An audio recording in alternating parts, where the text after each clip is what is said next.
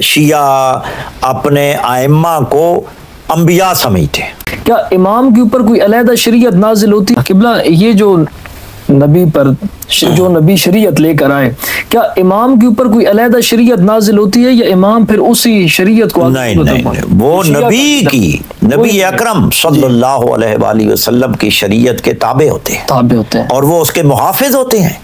जी। कभी हमने नहीं कहा। जी। कभी हमारे फ़ुकहा मुहदसिन किसी ने नहीं लिखा और ना हमारा अकीदा है कि इमाम जो है वो अपनी शरीयत लेकर आता है। जी।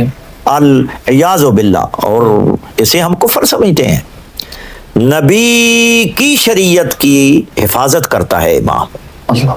और और हकीकी शरीयत मोहम्मदी के जो वारिस हैं जो लोगों तक यानी बिला कमी और बेशी के पहुंचाते हैं वो आयम आल बैत ही हैं जिनको हुजूर खुद अपने बाद यानी वारिस हदीस सकलैन की सूरत में आप फरमा गए हैं कि मेरी शरीयत अगर आपने लेनी है हकीकी शरीयत तो वो ये है। शिया अपने आयम्मा को अम्बिया समझते हैं हालाँकि हमारे आयम्मा ने हमारे यहाँ सही सनद जी।